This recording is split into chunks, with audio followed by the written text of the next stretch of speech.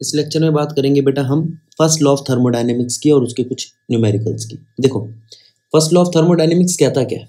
एक तो आपको पता होना चाहिए delta Q change in heat delta W change in work done ठीक है? ऑन द सिस्टम और by the system on surrounding delta U change in internal energy तो डेल्टा क्यू क्या है आपका? Heat supplied to the system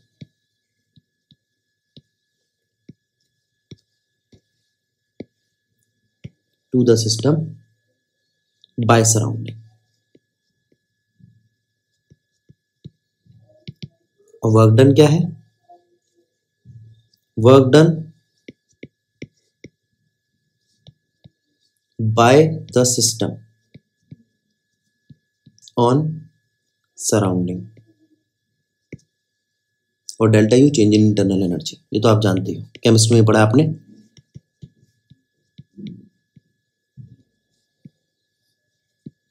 ठीक है? अब वो कहता है, यहाँ वर्क डन क्या है आपका? वर्क डन है पी डेल्टा वी ठीक? तो डेल्टा यू का फॉर्मूला क्या बना? Delta U is equals to delta Q plus P delta V. ये है फ़र्स्ट लॉ। एक बात, ये इंटरनल के लिए, एक्सटर्नल के लिए होगा तो माइनस है। और याद रखना, हम एक्सटर्नल के लिए ही यूज़ करेंगे। न्यूमेरिकल में। इंटरनल प्रेशर हम मेजर नहीं करते। ठीक है? अच्छा। एक चीज़ और कई बार बता चुका हूँ, फिर से बता रहा हूँ, जो आपकी चेंज इन हीट होती है, वो होती है एस एम डेल्टा टी ये स्पेसिफिक हीट है। स्पेसिफिक हीट तब काम करती है जब चेंज इन टेम्परेचर हो। अगर टेम्परेचर में चेंज ना हो, सिर्फ़ फ़ेज़ में चेंज हो तो डी क्यू बन जाता है एम एल एल क्या है? लेटेंट हीट लेटेंट हीट तब काम करती है जब चेंज इन फ़ेज़ हो। जब चेंज इन फ़ेज़ हो। यानी कि लेटेंट हीट हो सकती है फ्यूजन की। फ्यूजन फ्यूज का मतलब होता है मेल्ट होना। सॉलिड से लिक्विड लेटेंट हीट हो सकती है वेपराइजेशन की। लिक्विड से गैस लेटेंट हीट हो सकती है फ्रीजिंग की। लिक्विड से सॉलिड लेटेंट हीट और किसकी हो सकती है? देख लेना और जिसकी भी हो सकती है। ठीक है क्वेश्चन आते जाएँगे, आसान है, इसमें कुछ ऐसा खास मुश्किल है नहीं। आगे देखते हैं।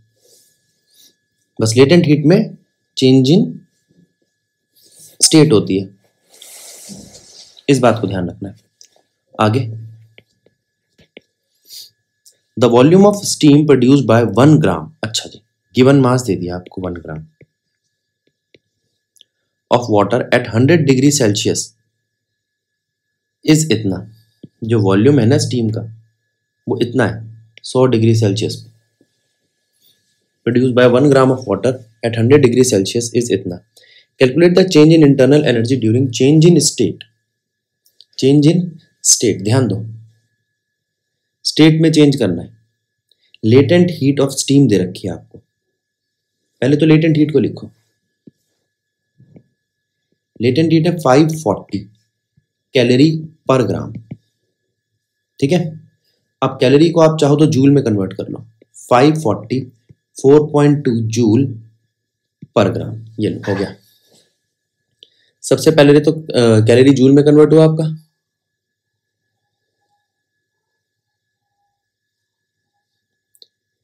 ठीक है? अब, और क्या है? कैलकुलेट करना चेंज इन इंटरनल एनर्जी ठीक है। वॉल्यूम ऑफ़ स्टीम की बात करी थी। लेटेंट हीट तो दिखने लग गई मेरे को। D Q M L L है एम है, आ गया। ठीक है? डी क्यू आ गया। अब एक चीज़ और चाहिए P delta V work done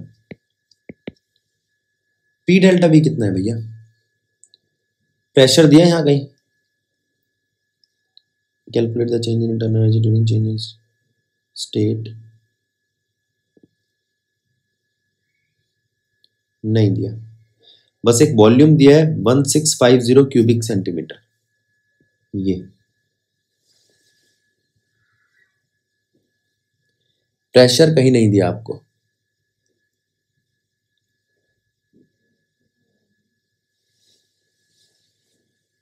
ठीक है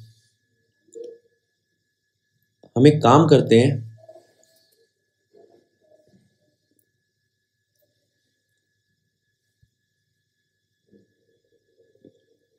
पहले तो वॉल्यूम को देखते हैं। एक ग्राम वाटर का मतलब क्या है? एक क्यूबिक मीटर ऑफ़ वाटर कहाँ से पता चला? पानी की डेंसिटी वन होती है। ठीक है? Because density of water is one gram per cubic centimetre. Cubic centimetre ले लो। अच्छा तो ये तो पता चल गया। इनिशियल वॉल्यूम कितना है? One cubic centimetre. Final volume कितना है? One six five zero. तो चेंज इन वॉल्यूम आ गया आपका। Final minus initial. ठीक है? ये वाली भी दिक्कत दूर। बचा क्या है आपका? प्रेशर बचा है बस एक। अगर प्रेशर ना दे रखा हो तो स्टैंडर्ड प्रेशर ले लो। वन एटमोसफेयर क्वेश्चन में कहीं पे भी प्रेशर नहीं है। बेटा देख लेना, अगर मुझसे छूट रहा हो तो प्रेशर देख लेना एक बार। यहाँ पर हम प्रेशर लेंगे वन एटमोसफेयर वन एटमोसफेयर का मतलब है टेन की पावर फाइव पास्कल। ठीक है? अच्छा एटमॉस्फेयर इस वाले को हम एचरोजी से भी निकाल सकते हैं। सब चीज़ें आपकी सी जी एस दे रखी है। तो एच ले लिया हमने seventy six centimetre of mercury density mercury की मैं जानता हूँ थर्टीन पॉइंट सिक्स होती है। जी नौ सौ अस्सी क्वेश्चन में भी दे रखा है और मुझे पता भी है। नौ सौ अस्सी सेंटीमीटर पर सेकेंड स्क्वायर होता है। ठीक है? तो यहाँ से सी जी एस में जवाब आ जाएगा चेक कर लेना, निकाल लेना इसको प्रेशर को। अब प्रेशर है आपके पास, निकालना है delta U delta U is equals to delta Q plus P delta V लेकिन प्रेशर है एक्सटर्नल इसलिए माइनस आएगा। ठीक है? प्रेशर है चेंज इन वॉल्यूम है डेल्टा क्यू है तो डेल्टा यू आ जाएगा। क्वेश्चन को ध्यान से देखो, फिर आगे बढ़ते हैं।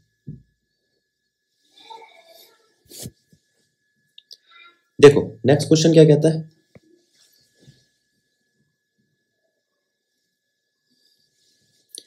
नेक्स्ट क्वेश्चन में हम बात करते हैं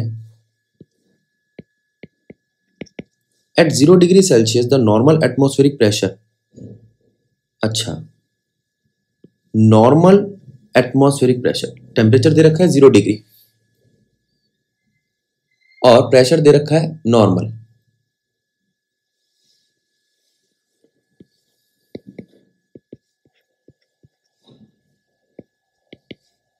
प्रेशर ले लो आप। वन बार नॉर्मल के लिए। या टेन की power five pascal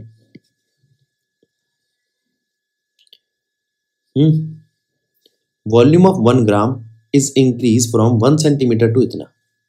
अब इनिशियल वॉल्यूम दे रखा है one cubic centimetre final volume दे रखा है one point zero nine one cubic centimetre change in volume आ गया।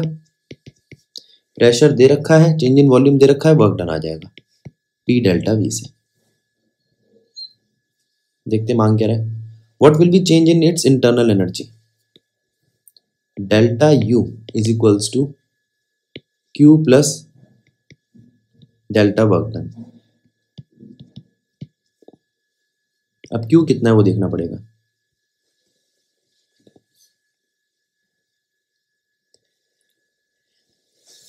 नीचे दे रखा है लेटेंट हीट तो लेटेंट हीट से आपका क्यू आ जाएगा M L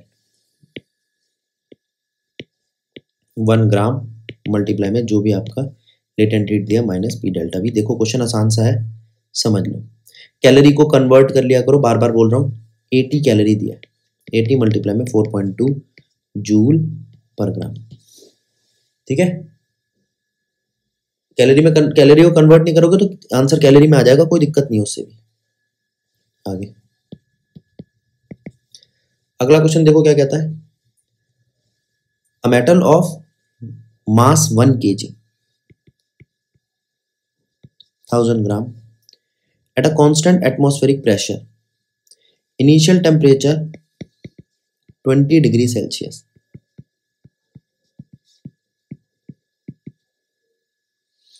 is given a heat of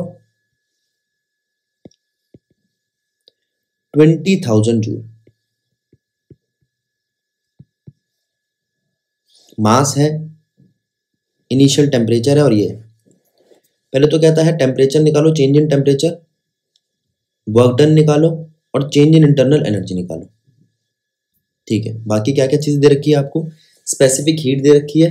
ठीक है स्पेसिफिक हीट तो चाहिए होगी हमें। क्यों? क्यू का फॉर्मूला है हमारे पास। S M delta T delta T को लिख दो, T final minus T initial अब सब कुछ है हमारे पास। स्पेसिफिक हीट क्वेश्चन में दिए मास एक हज़ार gram initial temperature two ninety three final आ जाएगा। हीट भी दे रखी है। तो ये फाइनल टेम्परेचर निकालने वाला क्वेश्चन हो गया। दूसरा पार्ट वर्क डन निकालो। वर्क डन क्या है? पी डेल्टा बी पी कितना है? Constant atmospheric pressure one atmospheric pressure P है, और वॉल्यूम चेंज भी दे रखा है। चेक करो, दे रखा है। वॉल्यूम चेंज नहीं।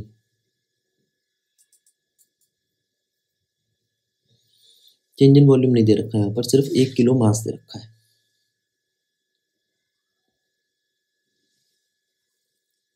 चेंज इन वॉल्यूम निकालना पड़ेगा हमें यहाँ पर। निकालते हैं। देखते गिवन में क्या क्या दिया है। कोफिशियंट ऑफ़ क्यूबिक एक्सपेंशन दे दिया बेटा आपको। अब ध्यान करो थर्मल प्रॉपर्टीज़ में हमने एक फॉर्मूला पढ़ा था क्यूबिक एक्सपेंशन का। Change in volume is equals to gamma V delta T ठीक है? गामा दे दिया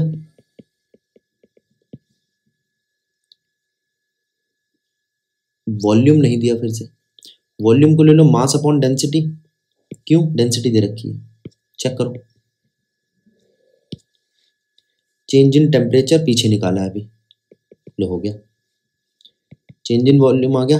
चेंज इन वॉल्यूम आ गया तो चेंज इन वर्क डन आ जाएगा। पी डेल्टा भी सेकेंड पार्ट हो गया आपका। थर्ड पार्ट देखो। Change in internal energy Q plus work done Q दिया कहीं?